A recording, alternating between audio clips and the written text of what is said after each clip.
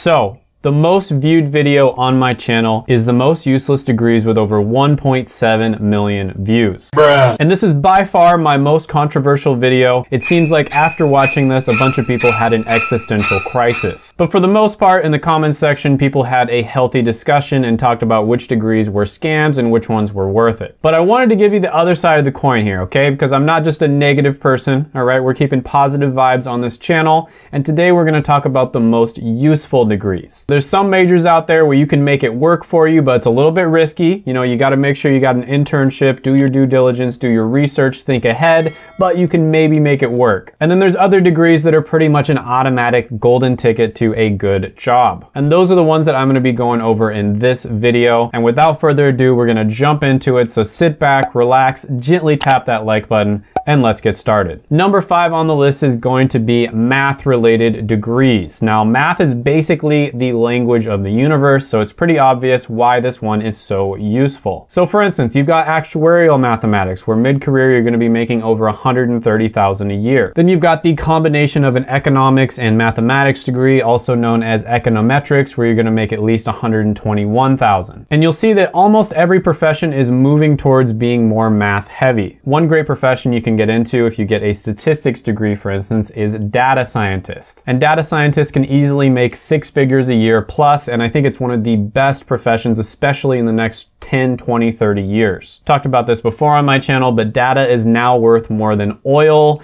It's just incredibly valuable for you to have data on the internet. Now, the only issue that I have with math degrees is sometimes getting a pure math degree, a pure math major can be a little bit too abstract. And that means that yes, the skills you're learning are valuable. It's just a little bit difficult for you to apply that in a practical way in the real world. So for that reason, sometimes you'll have a little bit of difficulty getting your first job. Now, if you got an internship during school, you probably won't have much difficulty at all. But if you just go into the degree thinking you don't have to do anything and people are gonna be lining up at your door offering you a job, with this one, it's kind of does fall into that category of the catch 22 you need two years of work experience to get a job, but you need to get a job in order to get two years of work experience. But once you do get those two years of experience, you are going to be good to go. Number four on the list is going to be business degrees. Now, I've talked about this before. With business degrees, you do have to be kind of careful because some of them are a little bit more worthless than others. Okay, so if you get like a general business major or a business administration degree, these are relatively useless just because of the fact that they're so general. You're not really learning a specific skill. So in business, the trick is to specialize in something, all right? Business as a skill is already general enough as it is,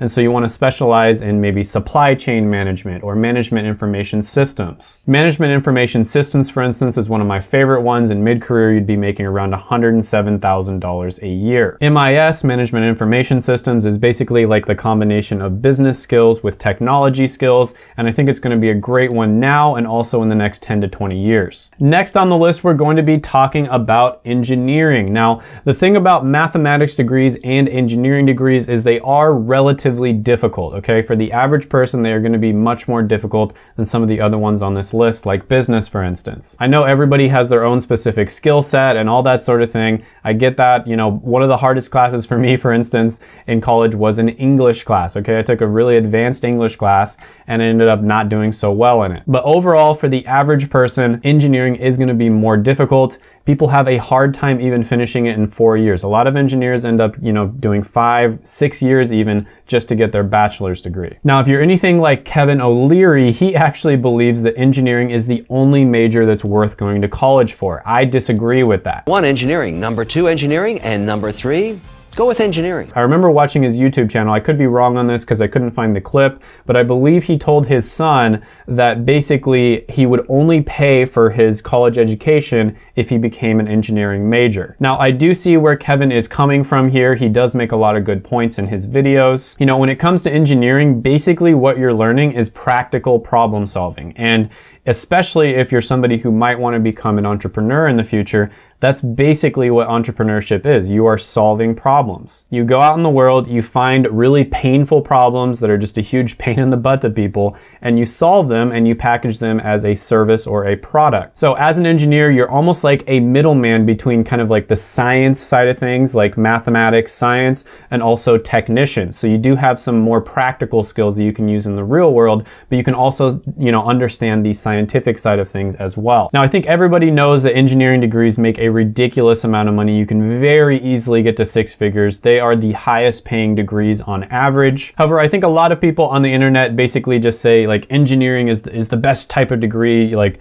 period, right? And when it comes to usefulness, they are very useful, but you do have to understand the downsides as well. So we wanna talk about the pros and the cons. So the cons of an engineering degree is first of all, they are very, very difficult, okay? A lot of engineers take more than four years in order to finish their bachelor's degrees, right? A lot of the time they're gonna be taking five, even six years sometimes. And these are smart people. These aren't like dumb people that have to take a long time. Many of them end up dropping out and never finishing at all. It's heavily science and math based. And so if you're somebody who's not very good at math or science, then maybe you should consider not going into engineering. And then it's always changing. So technology is always changing. Everything that's happening in the world is changing. And so their engineering curriculum is going to change with it. I guess you could say that's a pro or a con. Now, the pros of going into engineering is it's very difficult, right? So being very difficult in some ways is a good thing because it creates a barrier to entry. Not everybody can do engineering, so if you're somebody who can do it, that means that you have a huge advantage. Another pro is that it pays very well. Everybody knows this. Engineering, especially as a bachelor's degree, is probably one of the best paying out there. And there's also a lot of room for career growth. Everything is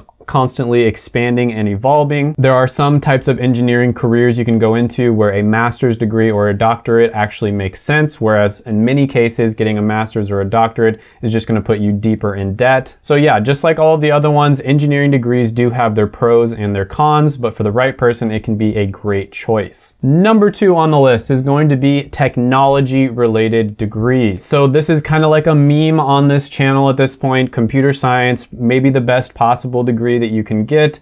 Extremely useful, especially this particular time in history. As a software developer, mid-career, you're gonna be making around $106,000 a year, and the easiest way to get into software development is getting a computer science degree. We are entering into the age of automation, and a lot of people say that you're either going to be the one doing the automating, or your job is going to get automated. And with a computer science degree, of course, you would learn how to code and be the one who is programming the software that would be automating a lot of these systems. Learning to code code is the closest thing that you're ever gonna get to a superpower. There's just so much that you can do with it. I think this is the single most valuable skill that you can learn in the next 20 to 40 years, bar none. And you can easily make six figures whether you just wanna be an employee, which, you know, that's the ideal life for some people. They just wanna go to their job nine to five and then come home and have, you know, nothing else to worry about. Or if maybe later on you want to start your own business, or if you wanna be like a super employee and rise up the ranks and, you know, make 500,000, a million dollars a year at one of these big companies. All of those options are going to be open for you if you go into computer science. Now, the reason that I didn't put this as number one on the list is because this video is about the most useful degrees. And technology degrees are extremely useful, don't get me wrong, but there's one degree that is more useful in my opinion than technology. And by that, I mean it directly translates. Like you get the degree, and you end up getting a job doing the exact thing that you got the degree for. In many cases, people will get an engineering degree, for instance, eh, like let's say mechanical engineering degree, and they don't end up becoming mechanical engineers. Now that's not necessarily a bad thing, but this is a list where I'm being very specific. There is one type of degree where you will almost always have demand. There's almost always going to be demand, even if it's the end of the world, Armageddon happens, these people will still have jobs on the last day that the world exists. And that is health related degrees. One unfortunate fact about life is all of us are going to end up getting sick and dying someday, and that's just never gonna go away. Unless maybe some of those genius engineers figure out a way to make us live forever. And here in the US at least, there is constantly a shortage of healthcare professionals. Nursing has had a shortage for like the last 20 years. It's totally ridiculous. Same with doctors. There's almost constantly a shortage here. And you know, working with the laws of supply and demand, this can be a good thing in many ways because you're gonna have a lot of options when you go into most healthcare related field. Great website to look at, one that I looked at when I was in high school school is explorehealthcareers.com, or actually I think it's explorehealthcareers.org. This is the career path that I went into, and again, none this isn't the best one right? It's going to depend on your own personal situation what you're good at what you're passionate about etc you know i weighed all of those factors and i found that i wanted to go into healthcare and that's why i became a pharmacist. Now some of the cons of a healthcare degree and a healthcare related uh, career is first of all you are going to get worked really hard. Unfortunately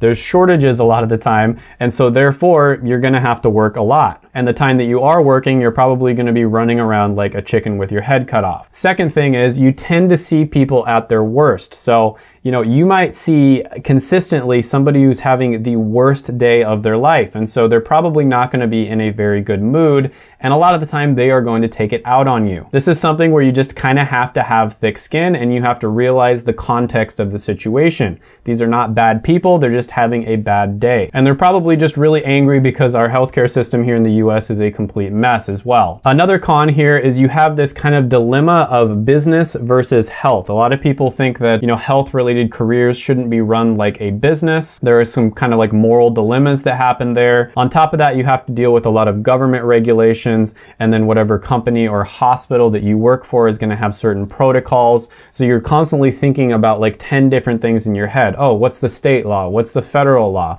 What's the protocol at my hospital? What is ethically the right thing to do here? Some of the pros of healthcare are, at least here in the US, you are pretty much always going to have a job. People are always going to need someone take care of them. No matter how bad the economy gets, people aren't just gonna like stop taking their medications. They're gonna continue taking those medications. They're gonna continue to need to be treated. Another thing is you get to make a real impact. Even if people get mad at you sometimes, uh, you know, health related careers do tend to have a high meaning score, which I talk about quite a bit in my other videos. And the reason for this is because you really do know that you're making a difference. Another pro is you can live pretty much anywhere you want to because of the fact that, you know, there's nurses everywhere in the United States, right? Right? There's nurses everywhere, doctors, pharmacists, etc. Some professions you can even transfer to other countries. So for instance, nurse practitioners, I believe their license is still valid in quite a few countries around the world, and same goes with doctors. Now, if you haven't done it already, go ahead and gently tap that like button, hit the subscribe button, ring the notification bell, and comment down below any thoughts, comments, criticisms, etc.